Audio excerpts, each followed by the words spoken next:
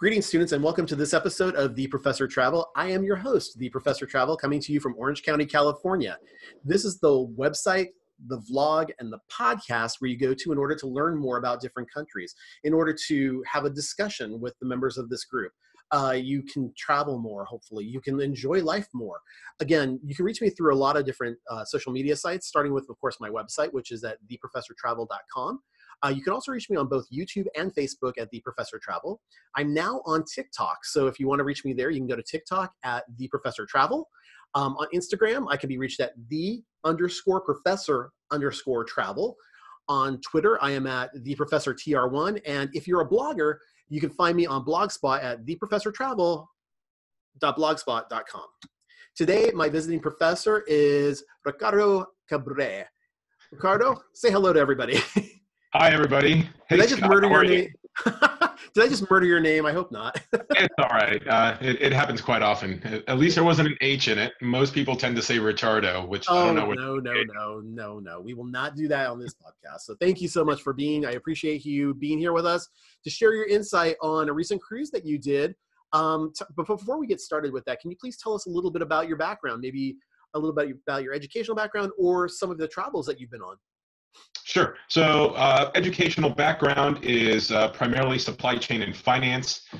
Um, originally from Miami, uh, that's where I grew up, uh, born in Venezuela, and then uh, moved all around the state of Florida. Now I live in North Carolina. From a travel standpoint, um, avid traveler, both domestically uh, as a result of my job. Um, I'm in the sales side now of things, on the beer, on the craft beer side of the business for sales and uh, also internationally, uh, traveled uh, almost every country in Western Western Europe, and now starting to dabble on the eastern side of things, as you know, which is where we met um, summer of last year.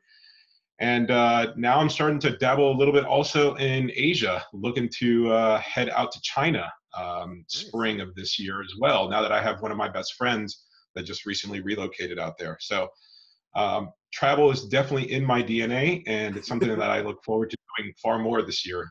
Well, and I definitely want to travel with you again in the future. You're a very fun person to have on travels together. So, um, just a great, great opportunity to do some traveling. As he was making mention to you, the students, uh, we recently went on a cruise back in, I think it was August of this last year, and we had an opportunity to do a few of the countries in the Mediterranean and mostly on the eastern side um, in the Aegean. So that was a really fun opportunity.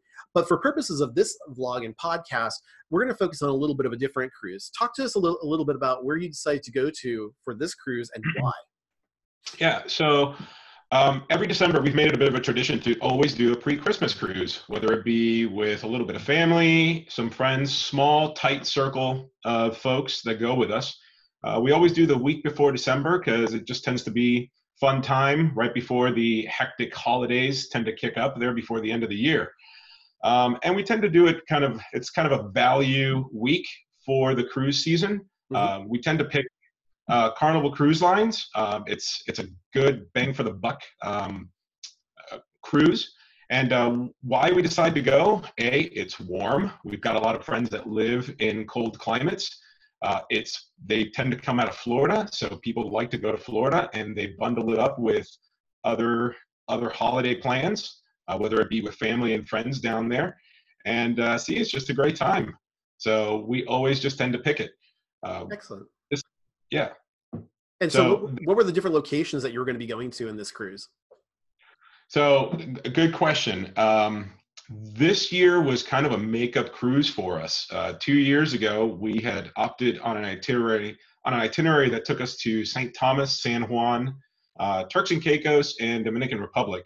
But um, as we all know, 2017 Hurricane Maria came around and um, it affected St. Thomas and Puerto Rico um, severely. And uh, it also affected quite a few of these cruises and uh, also affected ours. So this was a makeup cruise for us. And uh, fortunately, we had the opportunity to go ahead and uh, make it to both St. Thomas and San Juan, in addition to Dominican Republic and Grand Turk. Awesome. And just for my listeners, do you need to get any type of a travel visa in going down to the specific locations that you were talking about, or did you have to take any type of travel medications as part of that process? So, great question as well. No, uh, one of the one of the great things about um, going to some of these destinations on a cruise is Uh, in fact, in some cases, you don't even need a passport. Um, a birth certificate is all you really need to go to some of these locations. And, and as, as maybe some uh, listeners know or don't know, um, both Puerto Rico and St. Thomas are part of the United States. Mm-hmm. So they're territory. So as long as you uh, go with a U.S. passport or a birth certificate, you're perfectly okay. Excellent. Fact, and I was just listening to a podcast talking about what are called closed loop cruises, which is exactly what you're talking about, where you leave from the United States, you come back to the United States, you may hit a couple of local um, areas uh, or other countries, uh, such as Bermuda or the Caribbean or Bahamas. And as part of that process, like you were saying, you may it may be awesome for you to be able to just have your state driver's license as well as your birth certificate. But the thing you want to also be aware of, just just so the students are aware, um, it's always a good opportunity to have your passport with you, just because in the unlikely event that the ship takes off without you, then how are you going to get back? You might have to take a flight, in which case, well, guess what? Maybe you might need your passport in that case. Not necessarily for Puerto Rico or the U.S. Virgin Islands, but for some of those other locations in the Caribbean, maybe you might need to do that. Absolutely, and that's a great point that you bring up because uh, there have been instances um, as a result of people that uh, do excursions outside of the cruise for whatever reason. Uh, the the ship will leave you, and uh, you do need to go ahead and either uh, catch up with the ship at the next port or make it back home on your own dime. Uh, so you need to make sure that you have all the proper documentation to return home uh, safely. Absolutely, and I actually do want to delve into the uh, the excursions that you do through the cruise line versus uh, taking it on your own in just a second. But I do want to start to talk a little bit about uh, the process of the vacation and getting ready for that. So, Absolutely. As, as part of the pre-packing process, what kind of weather did you expect as you were heading out on this type of a journey, and for how long were you looking to go? So this cruise was a week long. Um, traveling from North Carolina, I, I, see that we're going to be talking about the pre-vacation and the flights and so on. Uh, but from a packing standpoint, the, the Caribbean tends to be a little um, sketchy, so to speak, any time of year. We always like to go uh, December time. Number one, because it's warm. But from uh, from a port standpoint in Florida, uh, you always should at least pack to have some cooler some cooler weather. So always pack for like a light sweater or a hoodie or sport coat of some kind because also on the cruise itself um, you, you, you do tend to dress up a little nicer at evening. So at least a sport coat is what i tend to pack always. Uh, for a carnival cruise carnival tends to be a little more casual from the cruising standpoint so a sport coat is not necessarily required but i always tend to pack one for myself and that always tends to be also my preferred choice for uh, for the uh, winter wear, so to speak. Okay. Uh, and I was going to say on that same topic, I have never been to the Caribbean yet, although I am planning on going in spring with my husband. I was going to ask you, um, what's the humidity like down in that area? This uh, during the during the winter season, it's generally not it's generally not humid, uh, but you can expect some relative light humidity, so to speak. It is warm though. Uh, some of the ports that we went to were relatively warm. Okay. They are beach destinations. So for somebody, I will say it's all relative. For somebody who is not used to the humidity, it will be humid. For someone like myself, uh, raised in Florida, I found it perfectly appealing. So. well, and that, that brings up a good topic because you're used to that from Florida. I'm from California. We we live in a desert. On our recent cruise that the two of us went on in um, in the Aegean, many of the many of the port stops were way more humid than I was used to. Did you experience kind of the same thing, oh, I, I loved it. okay. Yeah. See, I, I, heat, heat and humidity uh, are fine by me because you, you can always run back into the uh, air conditioning and escape from it. Okay. So. Not a problem then. Okay, so it is just me. I just want to double check that. so no problem. No, but, I, but listen, I get I get where you're coming from, and that's one of those things where it's you know weather and food are are all very relative to to folks. So. And we we are going to talk about food also in just a second because I want to touch base on some of the cuisine that you had down in that area. Um, before we do that, talk to me about how you got from North Carolina to the port destination that you were embarking from. Sure. Um, in our specific situation, we drove. Okay. Uh, it's a bit of a drive uh, from Western North Carolina, where we live now, to Port Canaveral. Uh, I would say anywhere from about nine to ten hours. Okay. Uh, but but we do that we do that for several reasons. Number one, um, from where we live, uh, availability of flights are limited. Availability and cost of flights are limited. That's one. And two, we just prefer the flexibility of having our own vehicle. So, okay, that's actually yeah. pretty good. What was the parking rate that you had to pay down in that area? Uh, good question. Uh, in the Cocoa Beach area, there are several options. You can either park right on the right in the port, and uh, the uh, Port Canaveral over the years has continued to expand um, their parking decks to provide additional parking options directly in the port where the ship is located. So, as specific to each Carnival ship, um, each Norwegian cruise line, each Royal Caribbean, uh, you can park directly in front of it. It is it is costly, uh, but it's convenient because you're right there. Uh, so as soon as you as soon as you get you arrive, you're right there. As soon as you um, uh, debark, uh, disembark, uh, you, you, just get pull up right into the garage and off you go. Um, there are other options um, off the port property that are far less expensive, which is what we opted to do this year. Uh, I would say less than half the price. Uh, but then, you know, you are at the uh, mercy of having to wait for a shuttle, having to go down there, and so on. But if you're willing to pay a little less, then that's that's what you deal with. We did it, and it was fine. There is another major advantage that I just thought of with respect to the way that you decided to go versus the way that I might decide to go. So if I'm flying from one location to another, I'm I'm only allowed maybe two carry-ons and two large suitcases. But if you're driving from your home to the port, a lot of the cruise lines aren't necessarily going to ding you on the number of bags you bring on. It's just a matter of what you can comfortably fit into your stateroom, you know, whether it's under the bed or in the different areas. Um, how many bags did you guys bring along with you?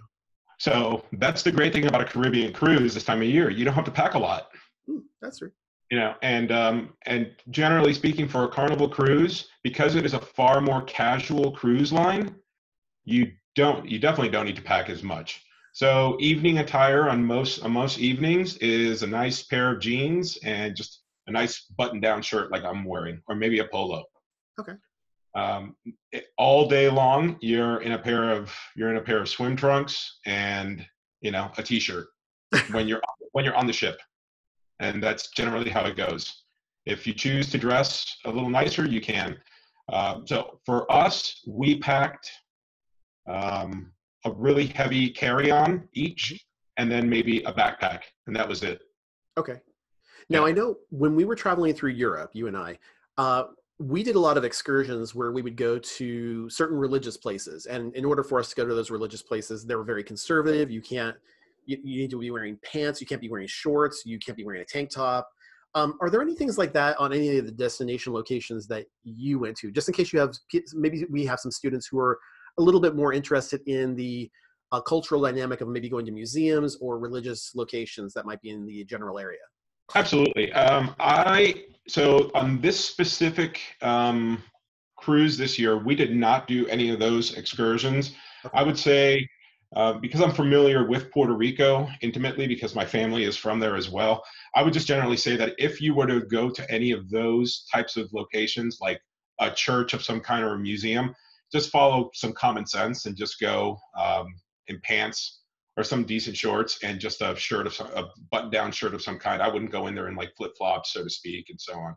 Uh, that said, though, it is a Caribbean island and they follow that Caribbean mantra and culture, which is relatively very casual. As long as you're not walking in there sloppy, you're okay. okay.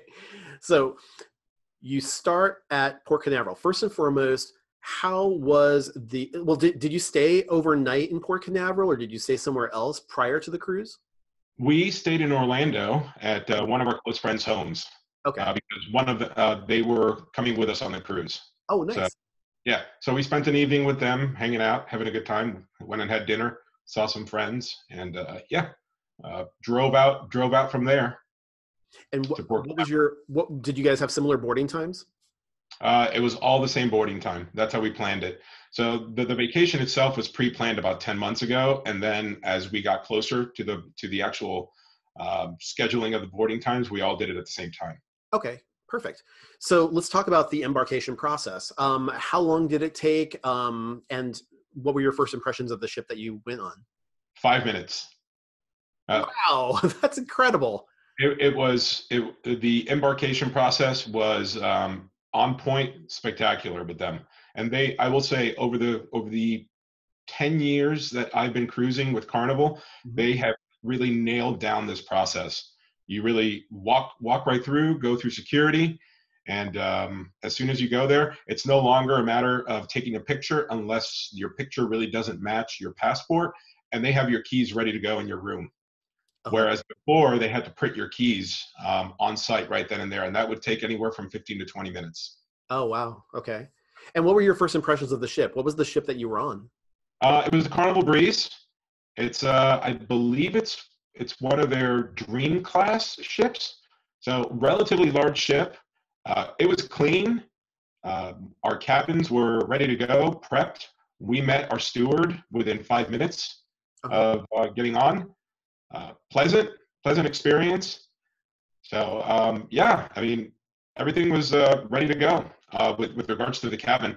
Uh, we were on deck eight, which we generally like to take a higher level deck. It was balcony. Mm-hmm. And, uh, we were two levels below the Lido deck, which is what we generally enjoy, having to be close as close as possible to all the amenities, so that when we wake up in the morning, we we just are there. That's pretty nice, actually. I, yeah. I know on the previous cruise that you and I had gone on, we had opted to go on the lower deck, and we were right above. Like I want to say we were on deck number th- two or three or something like that, and that's right above the embarkation. But we didn't hear any pro. We didn't literally hear anybody coming on board. So for us to leave, it was really really fast on the de- disembarkation process. Yeah. Um, so I guess it's really depending upon what your view is and uh, what your position is. On that same note, I do want to know, just based on what you just said to me a couple of minutes ago, about how many cruises do you think you've been on over the last 10 plus years? Uh, I want to say it's been about 11. Oh wow, okay. So, so we average about we average about one a year. Okay. I think I think now though we are going to be doing um, about two a year averaging is what we're looking at uh, because we did the one in August, we did this one in December, and we're booked on two more coming up here within the next year, potentially one more in December. Awesome. Okay, cool.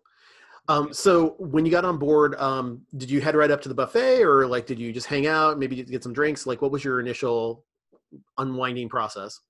Yeah. So first we stop in, in the, um, in the cabin, drop off our bags. If we're in sneakers, uh, general recommendation would be um, make sure you have a change of clothes with you on hand because your bags will not make it um, to your room right away. If you drop them off to the porter uh, downstairs, uh, keep in mind, it's going to be several hours in some cases before your bags make it to your cabin.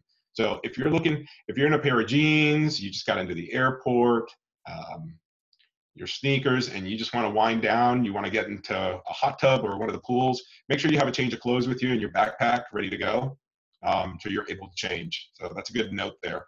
Excellent. Um, yeah, and then what we do is if some, some folks are hungry, uh, want to grab a bite to eat, want to grab a cocktail or a drink, uh, we head upstairs to the Lido or any of the bars that we're already generally familiar with with these types of layouts, and uh, off we go. Most of these ships are generally laid out the same for the most part. Stairs are where they need to be. Um, it's just a matter of quickly finding your way around, and off you go.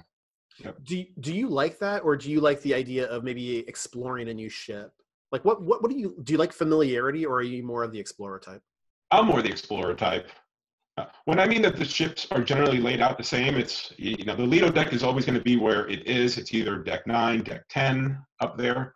Um, you know, the common, the main common areas like the casinos and the larger restaurants are going to be deck four, deck five. So it's pretty quick. It's a quick process to get acquainted with, you know, your home away from home for the next seven days. Because that's what it becomes. Okay. And yeah. talk to me about what the itinerary was going to look like over the seven day period for you. Okay. Um, with regards to this one, uh, the first day was going to be a day at sea because um, our first stop was going to be Dominican Republic. Okay. Um, so stop one was DR, and it was Amber Cove, which is a private. It's a private port stop for Carnival Cruise Corporation. So whether it was Carnival Cruise itself, Princess, or any of the other um, brands that Carnival Cruise owns, those are the ones that stop there. Uh, second stop was St. Thomas, followed by San Juan, and then the last stop was um, Grand Turk of Turks and Caicos, and then final day at sea. Okay, perfect. So let's have you walk us through the day by day on this, so that way we can get a little bit of an idea of not only the places that you went to, but maybe um, some things that you did in the meantime, especially the sea days, because I do have some of my listeners. Uh, the students are interested in knowing maybe what what a person does on sea days, especially if they're considering something like a transatlantic cruise or a cruise from like Los Angeles or Long Beach to Hawaii, and that could have a lot of sea days involved with something like that. So they're kind of wondering what would you do during that time frame. So I've always contemplated whether or not I could handle a transatlantic that had that many sea days because that's that's a lot of time uh, cooped up and not being able to get off the ship because I really enjoy getting off the ship even if it's just for an hour or two. Yeah. Uh, so on a sea day, what we what we generally do uh, we travel with a group of folks that don't have any any set agenda, so we don't necessarily have to be together at all at all times, which is great. Um, some of us wake up, have, go have a breakfast. Um, others get up and go to the gym. Um, there's plenty of activities. With regards to with regards to Carnival, Carnival has a little bit of everything for everyone. It's one of those cruise lines that you will see all all age range, all sorts of age ranges. Um, across the board. So they've got all sorts of different, very interesting and eclectic competitions that take place on the Lido deck. From um, and whether you're into them or not, it's up to you. You can go hang out in your balcony, but they've got a hairy chess competition. To yeah, to it's definitely it's definitely not uh, the cruise that we went on last summer. Um, to a, um, a booty dance contest to make the best drink contest, which then they start serving down at one of their bars and they sell for the rest of the cruise day. Um, yeah, and then they have gambling competitions down at the casino, all sorts of different activities, um, ranging for all for all age ranges. Um, let's let's chat. Uh, let's chat about something for just a second, because my my my listeners might be saying, "Oh my gosh, well, I would never want to go on a cruise like that. I, that would be weird, and or I, I that's not my type of activity. And rest assured, there's a different kind of cruise line for every type of taste that's out there. Yeah, and I want to I want to emphasize that there's a there's a different type of cruise line for every type of for every type of uh, traveler. Uh, but in addition, the reason why we choose to go on this one in December is because it's kind of a little bit of a let loose type of thing, and there's a different type of activity for everyone. So if you want to go catch five minutes of one of those competitions, you can go get a laugh and go do it, and then you can go off and do something a little more mellow um, in the afternoon. There's uh, an adult only Serenity at the very top of the cruise, which is very nice and quiet. There's the back end of the cruise ship where, where there's nothing going on, and you can just sit back and read a book and hang out, get in a hot tub. Uh, yeah, there's all different varying uh, forms of activities that you can uh, partake in. Or if you just want to kick back in your balcony room, if you chose to book a balcony room, go ahead and do it. They're fairly quiet. Yeah, and on, and on a larger scale, uh, when it relates to the specific cruise lines, for example, Carnival uh, they they refer to themselves as the fun ship, and so right. part of that is that they have a lot of activities. Some of them are kind of wacky, some of them are kind of fun, um, but they definitely try to keep you engaged a lot. Um, if you take a if you take uh, advantage of, say, for example, a Viking River cruise, which is gearing itself more towards a cultural experience. And so everybody on board is going to do these excursions. They're going to have guest lecturers on board, something like that. That's a very different feel than something like a carnival cruise. Um, there's also other ones that are out there like Princess, which is a little bit geared towards um, the higher end. Same with Celebrity. Um, you might have Holland America, which is geared a little bit more towards the target market of an older crowd. Um, right. And they're all they're all fantastic. Disney, oh my gosh, Disney! I couldn't forget them. They're definitely geared towards the family environment. And so you have all these different cruise lines that are geared towards a specific target market, and the activities involved in those tar in, in those um, cruises will reflect that as well. So I'm sorry, I didn't want to get us off track, but I definitely no. want to bring that out. And I, I, I couldn't agree with you more. So I, I think, you know, w- as we preface that, we just have to make sure that when people are looking to purchase their cruise vacation, they just take that into consideration that um, there's just going to be those types of activities. There's the ability to pick and choose those activities once you're on board, uh, but there's a way to also not do those once you're on board as well. So there's a little bit of fun for everyone if you choose it. And so uh, you saw, so you got to see these contests. Um, how was the food on the first day that you were there? Do you remember what you did? Um, so the, you mean the first day, like the day at sea? Yeah. So food food is uh, never without want on on a cruise ship, as you can imagine. There's always food somewhere on. You can find it somewhere. Um, Carnival does a very good job of providing food options um, over the course of the day. Uh, I'm, I will tell you personally, I'm generally not a huge buffet person, uh, but Carnival does a good job with the buffet. Um, as soon as they shut down a breakfast buffet, there's a lunch buffet going somewhere. And I will say there, this was the first time that I saw that there were some really interesting food options. The Breeze was the one that actually introduced a couple of new things from what I saw versus one of its sister ships that we went on two years ago, the Magic. Mm-hmm. Like, um, I think I mentioned this to you a couple of weeks ago. We we tried the Guy's Pig and Anchor. Yeah.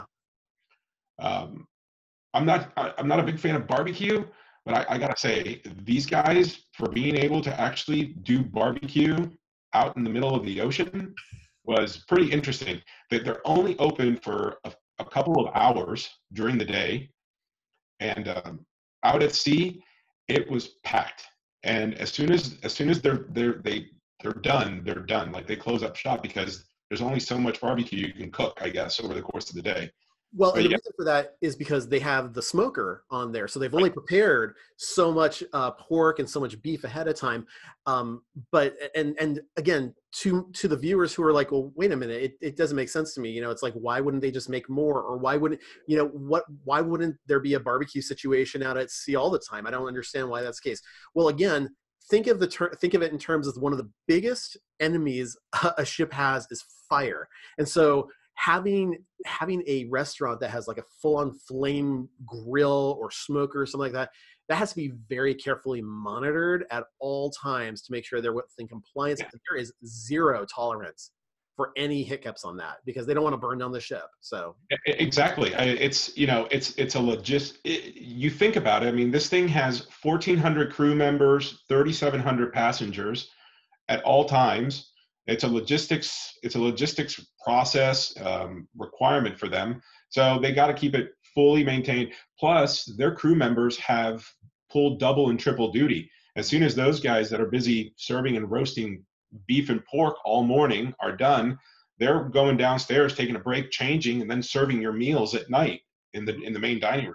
So yeah. it's a constant rotation of folks that are going in there and doing double duty um, all day long it's it's impressive how they run these operations Oh, absolutely. It's it's it's kind of um, yeah. it's unbelievable to me from from us looking at it from a nine to five perspective. You know, where we're used to just oh well, I just work nine to five and that's it. When you're seeing people who work double and sometimes triple shifts, it's because the money that they can make from stuff like that. You know, if they if they work these double shifts, if provided they're not on salary, is just an incredible amount for them, and it's it's it's helpful, especially if they're sending money back home to family and friends. Typically. Sure. Um, back to meal options. Uh, the other one that really stood out was the Bonsai Sushi place. Um, if you're if you're a sushi guru or big on sushi, it's not going to be the most impressive sushi that you'll eat, but it's good quality. I found it to be relatively good quality. It's a very limited menu. Obviously, uh, being on a cruise ship, it's um, you're not gonna you're not gonna get you know quail eggs and uni and all and all the great weird stuff that but they'll know, have your california rolls they'll have your crunchy rolls they'll have your spicy tuna rolls things like that. And they're going to be great quality and I, I will i will definitely say this it was probably the best miso soup i have ever had in my entire life which is um, hmm. pretty interesting. Why is how, that?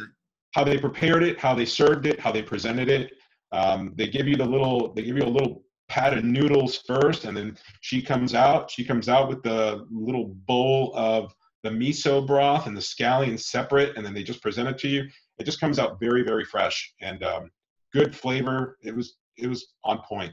So Awesome. That nice. was really. And then the the other one at the very back of the ship, they have like this um, seafood stand raw bar, uh, which I've I've never even considered that to be an option on a cruise ship.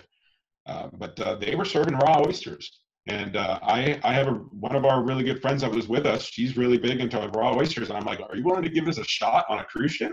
She goes, "Yeah, they they look nice and fresh. Let's give it a shot." And they were great. Were they actually shucking them there? Do you know? Yeah. Oh yeah, Oh, wow. Yeah.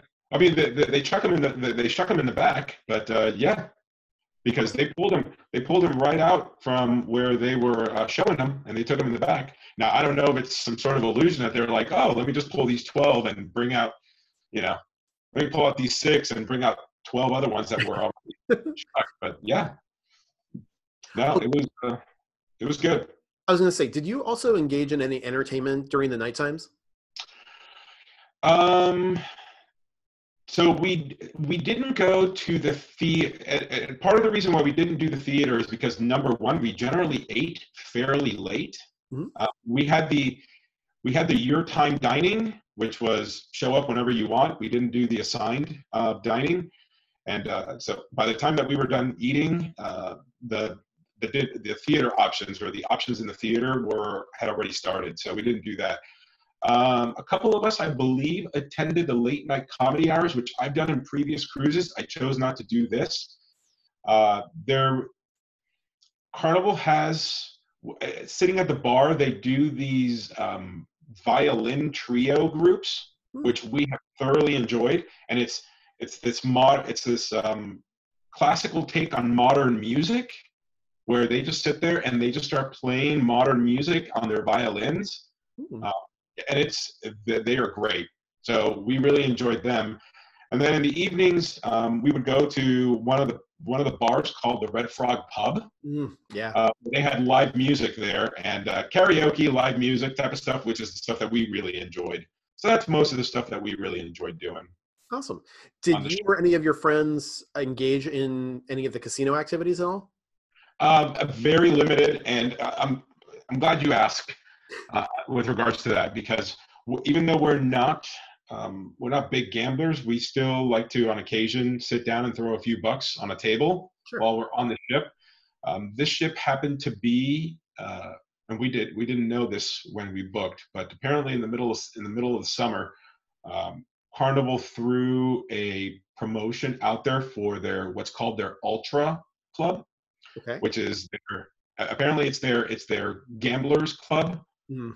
or people who gamble quite a bit on their on their um, on their ships and uh, it turned out that there were I, and this is hearsay but i'll take it because it felt that way anywhere from like 600 to 700 um, ultra members on this ship Wow. Which is approximately a fifth of the ship and um, they they basically dominated that casino the entire time if you don't know if you don't know um, cruise ship gamblers they're pretty um, they're pretty ardent uh, gamblers. Like they'll, they'll Second find a machine the- they'll find a machine or a table and they'll sit they'll they'll stick to it the entire week they're there. Like and you'll see them there all week long.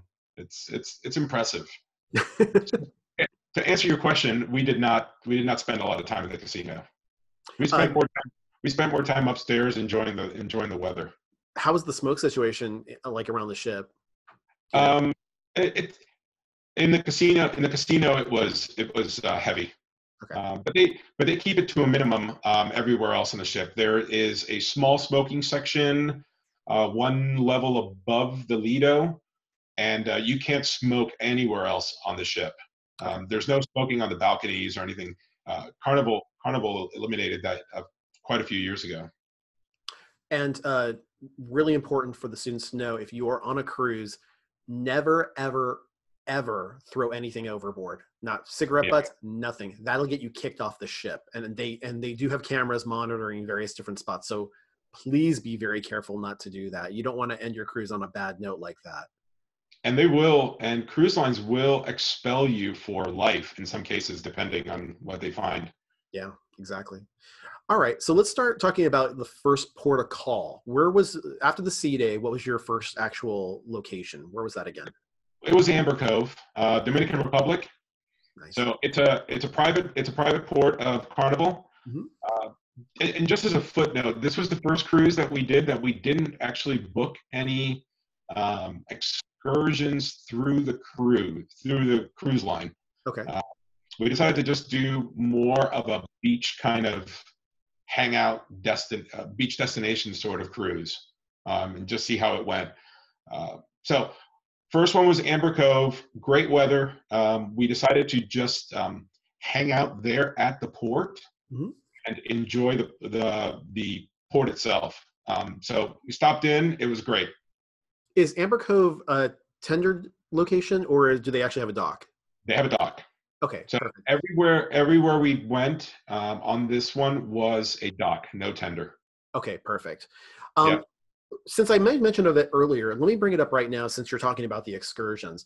Um, when you made mention earlier of the cruise lines offering excursions versus you going and getting it yourself, it brings up a really interesting topic because when you're booking your own excursions, which you can do, um, there are some risks that you do run of something like that. For example, if they don't get you back in time, maybe there's a traffic issue on the island, maybe there's something that's happening somewhere. If they don't get you back in the appropriate timeline and your cruise ship leaves, you might be out of luck unless you have traveler's insurance or something else that could help to get you back to where you need to get to. On the other hand, when you book through the cruise lines, they have a um, guarantee that's built into those in in I think almost every case that I've seen where they will if you if your cruise is, or if your um, tour is running late they will hold up the ship in order to make sure they're accommodating waiting for you in that particular case. And i know some independent cruise or some independent tour operators will guarantee that they will get you back to the cruise in time for your departure but sometimes that can be a little bit rushed and it, it can get a little bit crazy so again to my students just be mindful of stuff like that that's a good point, and uh, and that is right. Um, if you book an excursion through the cruise, you generally pay a little more, but you are guaranteed um, that you will be back on the ship, or that they will hold the ship for you. Exactly. All right. So after Amber Cove, what is our next destination? So next destination was St. Thomas. I believe it was Charlotte Amalie, the port of Charlotte Amalie. Okay. And uh, that one whether the the way um, our our ride from Amber Cove to St. Thomas was quite choppy because we were facing a headwind, and then we ended up um, arriving to quite a bit of rain. So we ended up staying on the ship for a little bit. Fortunately, the weather cleared up, and then we just decided to walk around the port. And finally, we got a little adventurous and hopped in a cab and uh, went to what was it called? Um, Magens Bay Beach, hmm. which is on the on the I believe it's on the north side of the island, and uh, you can Google it. It's M A G E N S, and uh, it's a beautiful beach. On um, it's basically a, a little bay on the north side of the beach, and it's absolutely beautiful. It's a public beach. Um, I believe you have to pay like four or five bucks a person, um, nothing crazy. And they have a bar and a restaurant right on the beach where you can get drinks and just hang out uh, and just enjoy it all day. Cabs will take you there. It's uh, it's a short ride. Uh, felt very comfortable to go there on a cab, in a cab, and uh, catch a cab back. Um, they all know the routes and they'll all tell you that they'll get you back to the cruise on time. So perfect. St. Thomas is a relatively small island, so the odds of you missing the ship are few and far between did you have were you accosted by any merchants along the way or was it pretty much none none i mean uh, most of the merchants most of the merchants that you talk to um, are right in the port um, and all extremely friendly so n- nothing to be worried about and get accosted by so okay perfect but the nice thing about st thomas like i mentioned earlier u.s territory so cat a little bit of cash Uh, you don't need to take your passport or any documentation. The only thing you need to take off the ship with you is your room key and Oh. um, and your license as ID. That's it. That actually brings up another topic I didn't even think about. When you were going through all of these different destinations that you were headed to, did you need anything else except for US money or could you pretty much use your dollar anywhere you went to? I- I all I would take down with take off the ship with me would be my room key, um, my license, some cash, dollars, and a credit card. That's Okay. all I took with me. Yeah, that's easy enough. And- Yeah, and my credit card, my my license was more as a form of identification, just in case I needed it. Okay, cool. Yeah. All right. Well, sorry to hear about the choppy weather that you had. Um, did you guys at least do something during the evening, at least, to kind of make that up? I'm sorry, can you repeat that again? Oh, I was saying, did you guys at least do something during the evening that you went to St. Thomas to kind of make that up? Um, some at least something on the ship or something at least kind of cool to do. Oh yeah, we always make it up. We we went back and had dinner on the ship and had drinks and had a fabulous time. Okay, good. What you do? Yeah, You got to Um, make it. gotta- gotta- yeah. Once I mean, once the ship turned around and we had and we had the uh, headwind as a tailwind behind us, it was all great. So Okay. it, was, it was fine. So that was St. Thomas. Uh, was was the next stop St. Martin then, or?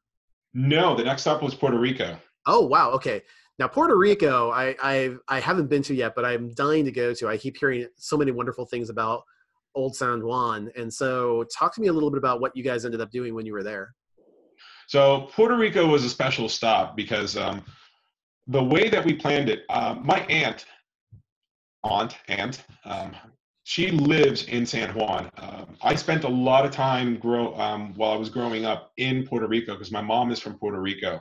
Hmm. Um, so the way that we the way that we chose to do this was um, she she rented a she rented a large a larger van a minivan and came and picked us up at the port and we were we kind of designed our own little mini excursion um, that day we were not going to do we were not going to spend the entire day in old san juan um, i wanted to take my my friends to kind of see what i remember of san juan kind of growing up so our first first uh, we got off the ship and um, we see my my aunt and then um, i get a little tap on my back and it's my mother who Oh my gosh! yeah. So from Miami, who surprised was there to surprise me and my friends um, off the ship. So that was an amazing surprise. Wow. Yeah. Yeah. So that was really neat. Um, so after the surprise and a couple of pictures and this and that, I'm like, all right, mom, we've got maybe about seven hours total. So we gotta we gotta get trekking. And uh, for, for those of you who are not familiar with Puerto Rico, Puerto Rico is a um, island that's about 100 miles wide, 100 miles long by 30, 35 miles wide, give or take. Uh, Puerto Ricans will tell you that it's a little, a lot bigger, but they're very Puerto Ricans are very proud people. I love it. Um, and then you've got about three to three and a half million people that live on the island. So it's a very, it's a very tightly packed, a lot of traffic all the time, um, but nevertheless fun. So you got to, you got to get moving pretty quickly. Uh, so we we moved out east to um, East San Juan, which is where um, my aunt lives. We went to this area called um, Piñones, which is uh, a very local area, and I've always been one to kind of get off the beaten path, so to speak, and you know not stay in the touristy areas. Piñones is an is an older area, um, very community type beaches uh, with some um, very tasty food kiosks that open up. So if you want to get some really nice local flavor, that's where you you go. Um, go there during the day, very nice and safe. You can get some bikes. You can go there and bike around the beaches. It's fantastic. Um, so we spent up, we spent some time out there, um, hung out in a beautiful beach there for a little bit. Um, after a while, we went back to my aunt's house, changed, um, got some dry clothes, then we went back to Old San Juan. Um, had an amazing lunch, and I wish I would for, I wish I would remember the name of the um, restaurant. Um, I'll, I promise I will get you the name of that restaurant. You can share it in the write up um, Awesome. afterwards. But um, we, most of us ate a traditional um, dish, Puerto Rican dish called mofongo, which is it's mashed. I believe it, it's mashed green plant, seasoned green plantain that is cooked up, and then You add, you can either make it with um, chicken, seafood, shrimp, crab, um, whatever you like. Some people make it with beef, and then they top it off with either a tomato sauce or a garlic sauce of your choice, and you eat it. And it's just absolutely fantastic food. That sounds fantastic. Very good. Um, and then we just walked around Old San Juan, went to the the forts, um, walked around the streets. It was right before Christmas time, so Puerto Rico takes Christmas very, very seriously. And there were all these bunch of little bands with kids singing and people dancing all over the streets in Old San Juan, the blue cobblestone streets. So it was just a lot of fun, um, just walking around there. We would stop. Fantastic. Uh, it was great. We would stop every now and then and just grab a drink and uh, just hang out. And it was just great to be with family for a few hours there, partaking in that. that. Sounds, that sounds amazing. And then just walked walked back to the cruise ship and got got back got back on board. So easy breezy. Yeah. And a really great surprise that came from the whole thing too to see your mom. I know it was great. Really fantastic. I'm glad. I'm I'm so happy for that you had that opportunity. That's not something that most people find on their traditional cruising excursions is no. to see your relatives like that. No, to be picked up by relatives there at the uh, at the port, it was nice to do. So that, that was a hoot. All right. So we're heading out of San Juan now. Um, where is our next destination stop? Next destination is uh, Grand Turk in. Turks and Caicos, and um, it, th- this one is by far. If I have, we this is the second time we've been to Grand Turk. Um, we have not trekked we have not trekked off the port basically in Grand Turk because we just enjoy this port so much. It is just a beautiful, it's a beautiful port, number one, um, because the ships dock right there and it is pristine, crystal clear water. Mm. And there is a beautiful beach right there that you can um, rent a couple of chairs and hang out all day looking out at to the left you look out and it's just more beautiful water that, or, and sandy beach that you can just walk out to or you can take a look at these impressive ships just looking out that you can snorkel almost 50 feet away from which is totally cool mm. or if you want you can hang out at a walk up at a, at a swim up bar pool at margaritaville with um, chairs all around it and just hang out there all day, enjoying the beautiful day. Um, so it's just an absolutely fun place. Um, there are some really amazing excursions you can do in Grand Turk that some of our other cruise buddies have done in the past. Um, there's some ATV um, excursions you can do, which I've heard great reviews about. Um, there's some horseback riding on the beach that people have done that I've heard great things about as well. Um, and then there's some additional like um, walking walking tours that you could do around the town of Grand Turk as well that you can do, which people have done as well. So, I mean, there's plenty of activities to do. It's a relatively small island, so getting around is not hard at all. Question for you: Why do they call it Grand Turks and Caicos? Uh, well, Grand Turk is the town. Okay. Um, well, Grand Turk is the uh, is the name of the island. Um, it's but it's it's the islands of Turks and Caicos. Okay. Turks and Caicos is the name of the islands. Grand Turk is the name of that island. Okay, perfect. So it's yep. a series of like smaller islands then. Yeah, it's a the the name of the archipelago is Turks and Caicos. The name of the island where we dock is Grand Turk. Okay, perfect. Awesome. Yeah. Well. Yeah, and then Amazing. and then um, after that, it's another day at sea mm-hmm. which is basically um, a little R and R, pack up, and um, get ready to get home. Uh, did you stop in St. Martin at all? No, this this one did not stop in St. Martin. Okay, I just wanted to double check that. All right, so then you're heading on back. Um, what was the disembarkation process like? Disembarkation is uh, a little more hectic. There's uh, there's areas of improvement um, mm-hmm. there.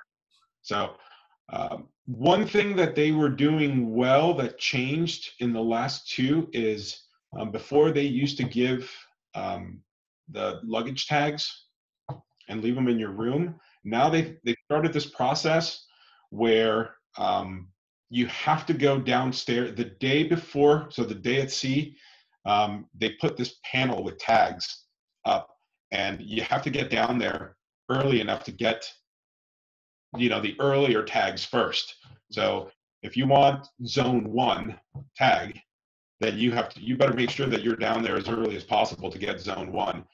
So what what I've what I've noticed ends up happening is um, people end up taking their luggage down themselves, so they self disembark, okay. and you've got you've got folks with you know 50 60 70 pound pieces of luggage lugging them down you know 10 flights of stairs Ew. and um, it causes it causes a little bit of mayhem on the um, on the disembarkation process so um, i'm i'm sure that that uh, that gets sent back in reviews um, for them yeah so that, that's definitely that's definitely an area of frustration an area that carnival will need to will need to continue to work on how long did it take do you know um, it took us well over an hour, hour and a half. Yeah. Yeah. The congestion yeah. point. It sounds like they're going to have to do something about that. Yeah. Um, so let's talk about the post review of this and some takeaways. Um, so if someone was looking to do something similar to this, what do you tell them as far as the pros of going on a cruise like this? So if we're if we're talking specifically about um, Carnival, the pros, um, there's something for everyone. Uh, it's a bang for the buck. It's it's a great vacation, uh, and uh, it, it's just generally a very good time. It's it's a good time to get away and to disconnect from every day. Excellent. And yeah, if you just have to make sure that you're traveling, you just have to make sure that you're traveling with the appropriate group that knows how to have have a good time on these things. So. Yeah. I will say this, and this is this is a prop to you and everyone else that we met on board the previous cruise that we were on.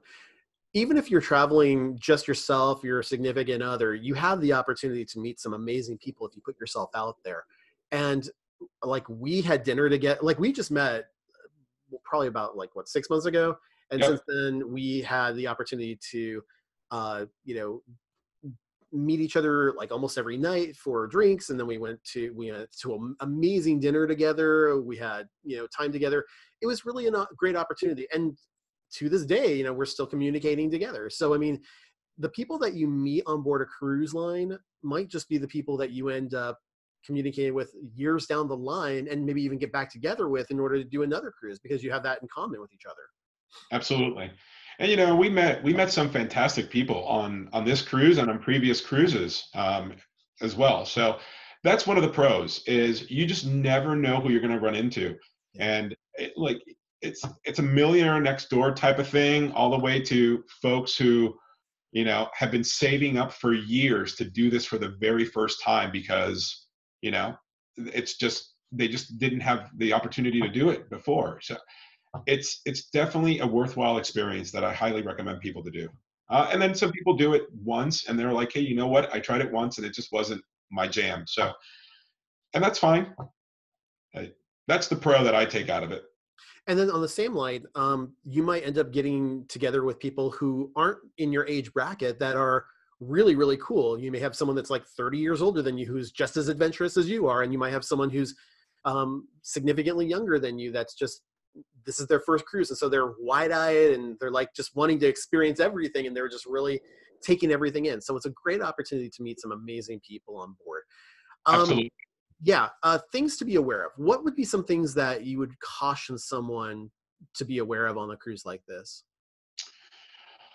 um well, I mean, we we touched on the medication piece. Be absolutely sure that you're bringing um, all the medication that you need, and even some of the medication that you don't need, or you may not think you're going to need. So, for example, um, Dramamine, mm-hmm. like motion sickness, uh, and even take a little bit of it before the cruise starts. Even if you don't think you're prone to motion sickness, you might be um, I'm generally not prone to motion sickness in small boats, but when you get that slow moving roll on these larger boats, that may tend to affect some people um, versus others. I got a little bit of motion sickness on this last on this last cruise. Mm. On the August cruise in the Adriatic, um, it wasn't that bad because the, those seas were not as choppy at all. Yeah. So that's that's one thing to be aware of. Um, be cognizant of illnesses as well. Um, you know, it's 5,000 people in in a ship, so they are very adamant about people making sure that you're constantly washing your hands.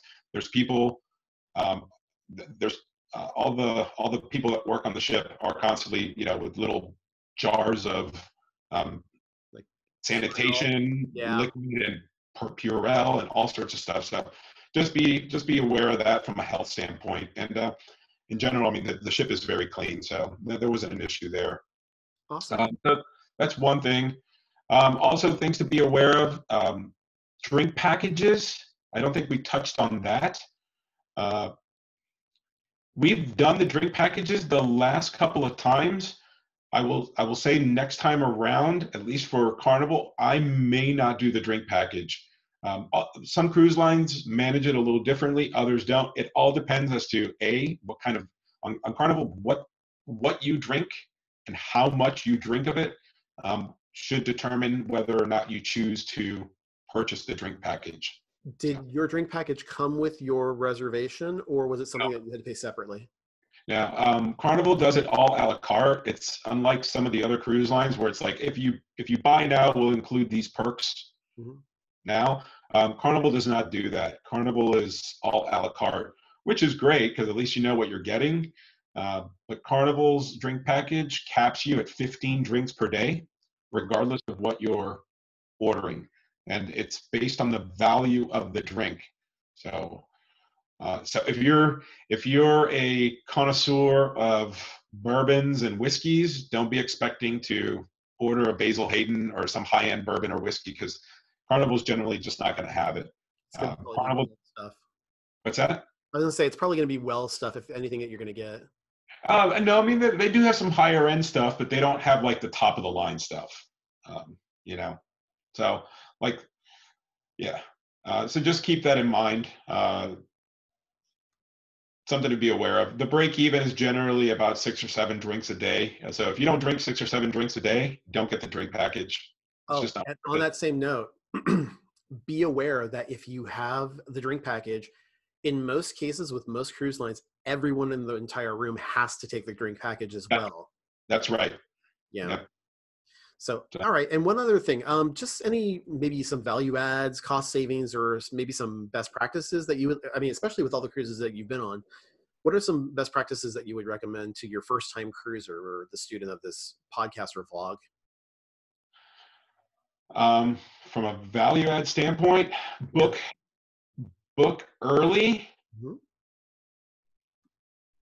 Book as early as possible is generally what I do. Um, I have found I have found that booking booking directly from the cruise line doesn't save you any less money than going from a travel agent if that makes sense. So i generally just book directly through the cruise line um, and i have found that it's been it's been about the same. Um, it also depends on the time. So um, I would I I just I keep it directly with the cruise line. It's it's easier if in the event that you have any issues with the actual reservation at some point to maybe get your money back should you need to cancel at some point, um, which fortunately we've never had to do.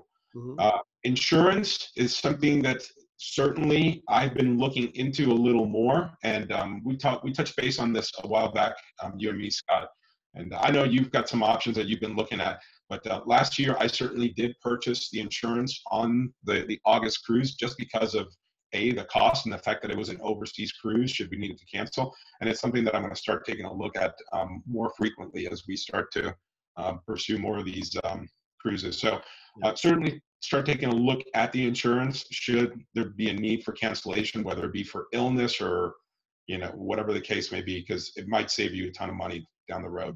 I, I, I also recommend taking a look at the length of the cruise that a person wants to go on because if you're just going on a three, four, even maybe five night cruise, do you really need to spend as much on the insurance as you did on the cruise, or is it a, maybe a better opportunity to look at maybe a seven night or greater cruise, and then look at uh, you know you have to kind of weigh the the return on investment for you.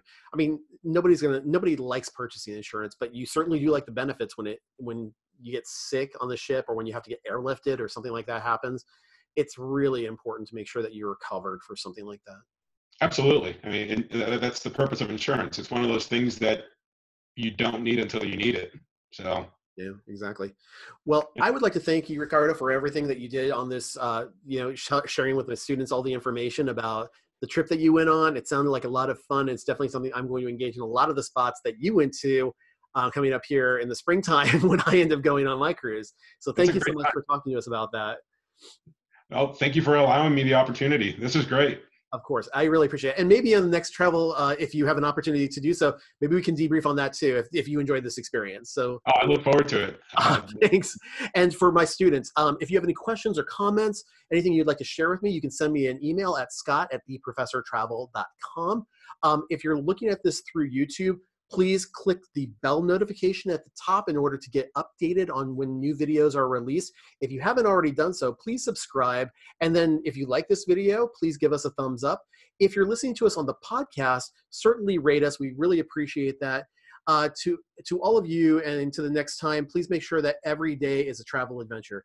Take care, everybody. Have a great day. Bye bye now. Bye, everyone.